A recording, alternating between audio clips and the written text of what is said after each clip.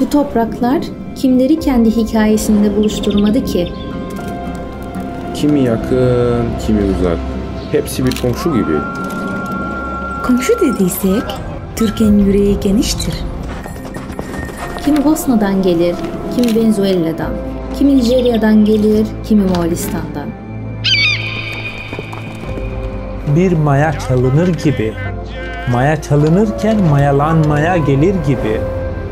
Hiç duyulmamış şarkılarla dertlenen, Hiç tadılmamış da tatlanan.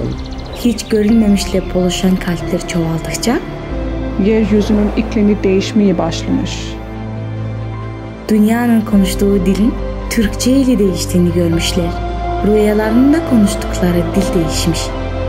Değişmişler, dönüşmüşler. Türkiye kalplerine dokunurken özlerini bir eylemişler. Bilse de bilmese de buna gelmişler.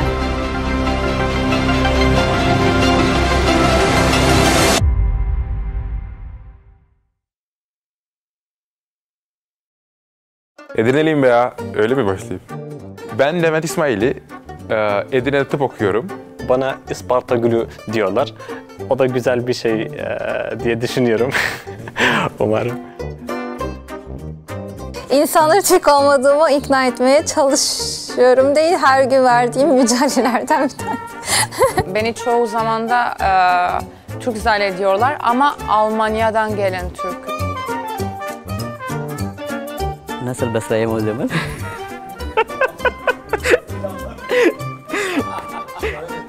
Şimdi aa, Ankaralı kız kızım oldum. Bizim orada anneye anne denilir. Aynen evet. Allah Allah Allah. Veya bazen nana diyoruz annemize. Bak sen. İlk sınıfa girdiğimde bir hocaya karşılaştım. Oğlum senin şakaran çıkmadı mı da? Çıktı hocam nerede? Burada. Gözükmüyor ama. Sonra hocamız Arkadaşlar bakın Abdülfettah'ın şakara çıktı. Hadi alkışlayalım.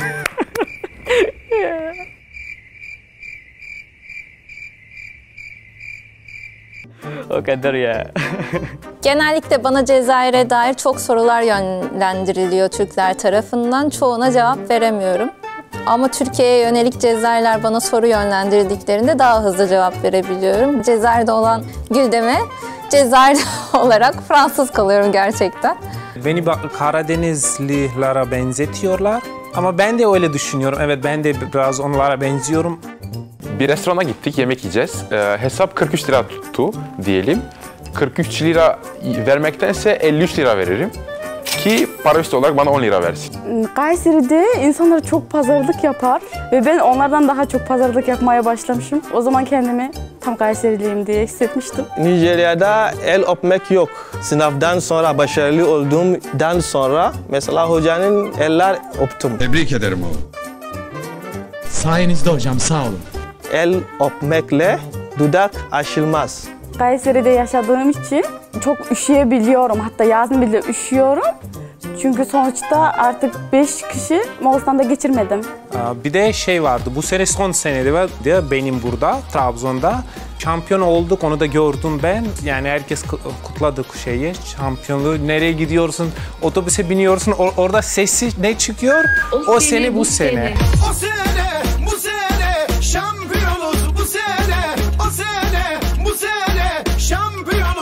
şampiyonuz. Baksana bir şey söyleyeceğim. Ben Hindistan'a da gitsem bu kafayla. Bana orada Trabzon. Ya aslında hiç duygusal bir insan değildim. Hep Türklerin işi yani, hep alıştırdı. Ya işte Cengiz Han torunu olmak böyle bir şey.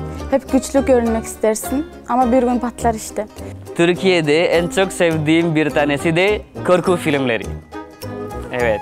Neden çok sevdiğini anlatayım. Zaten Endonezya'dayken korku filmleri hep izledim. Ve burada korku filmleri izledikçe hemen hemen benziyor. Hemen hemen tarzını benziyor.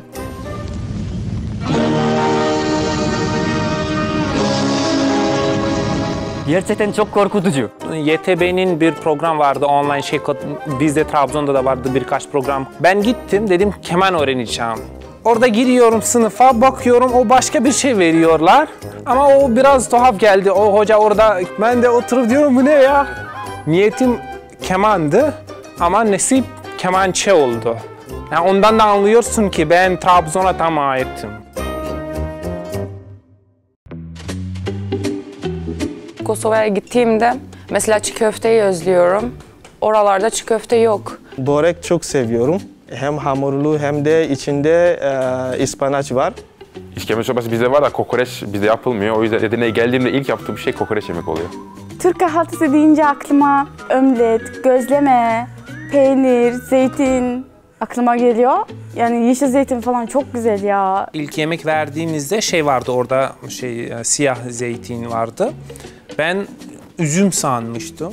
Tavuk döneri çok severim. Hatta öğrenci yemeği olduğu için haftada en az iki kere yiyorum. Uf çok acıktım ya. Kayseri'de, Aa, dur Kayseri değil Kayseri diyecektim şimdi. İstanbul'da olduğum için İstanbul Türkçesi kayıyor da. Bir insan eğer rüyada yani bir dilde konuşuyor o onun ana dil.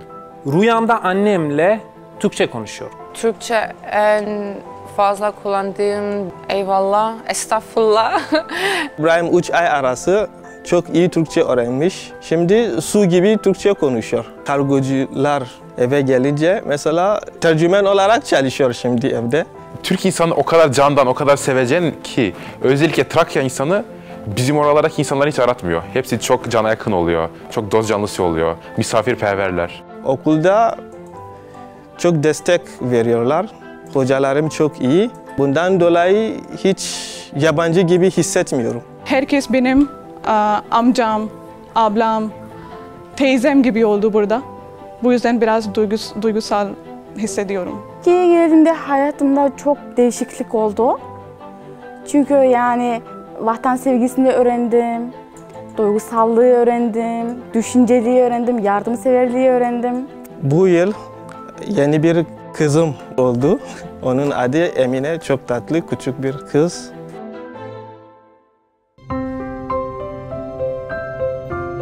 Nereye gitsem, dünyanın sonuna bile gitsem em, Türkiye benim bir parçam kalacak. Köle de yaptırdım yani yar yar. Aile tabii ki bana da güveniyor, e, güveniyordu ama Türkiye'ye e, daha güveniyor, güveniyorlardı. Bu yüzden bura- buraya kadar bıraktılar. Bizde bir atasözümüz vardır hocam. Bir kürek ile iki üç ada geçti. Türkiye'de okumak hem akademi öğreniyoruz hem de kültürü öğreniyoruz hem de dünyanın kültürü öğreniyoruz. Ee, Türkiye'ye gelerek en önemlisi bilgime bilgi ekleyerek benim bilgim daha da tekamül etti. Bakış açımı o kadar genişletti ki kültürü, geleneği yakından keşfetmeyi, e, yaşamayı, YTB olmasa, olmasaydı ben burada yüksek lisans yapmayacaktım. Böyle bir başka ülkede eğitim almak, o dilini öğrenmek, kültürünü tanımak, böyle bir fırsata sahip olmak e, çok değişik, çok güzel bir şey. Bu fırsata sahip olmak, bu imkanı bize e, sağlayan YTB üyesi olabilmek gerçekten hayatımın büyük bir şansıdır. YTB ve Türkiye Devleti teşekkür ediyorum. YTB olmasaydı ben ne yapaysın ne demek bilmeyecektim. Mezun olduğum için çok heyecanlıyım. Yani hayatıma daha yeni adım atıyorum diyebilirim. Çünkü yani 5 yıldır burada olsam da YTB hep yani bir arkada dağ gibiydi. Türkiye'den gitmek istemiyorum. YTB benim için aslında e, dinlediğim güzel şarkılar, okuduğum kitaplar, e, tanıdığım güzel insanlar. Benim için hepsi YTB, hepsi Türkiye.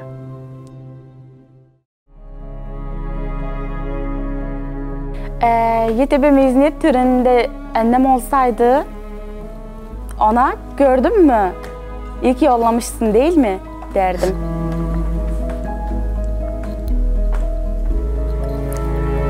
Bunu annem mi yazdı? Udrimint, bidni emdirilt, tirte hörör ciliyomun.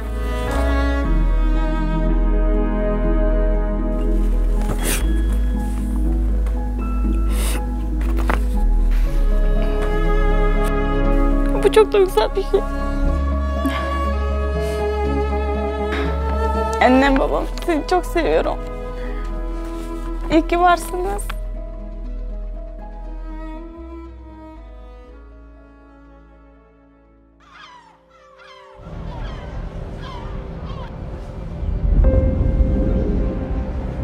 Dönüşmenin içinde dönmek de var. buradan çok uzaklara gitmek, Tam burası evimiz öldü derken evlerimizden tekrar ayrılmak da var. Tam Türkler gibi sarılmaya, hayırlısı demeye, kismet demeye alışmışken tam kök salarken o kökün filizlerini öldürmeden götürmenin sorumluluğu da var. Elbette Türkiye'de ona gelenlerin evladı bildiklerinin gidişinin mahzun. Ancak biliyor ki artık bu evlatların gittiği her yer Türkiye.